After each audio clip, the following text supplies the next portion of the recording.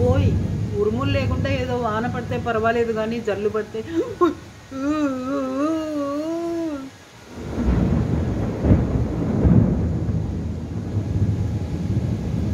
మెరుపులు దగ్గరుంటే సౌండ్ కూడా వస్తుంది బాబోయ్.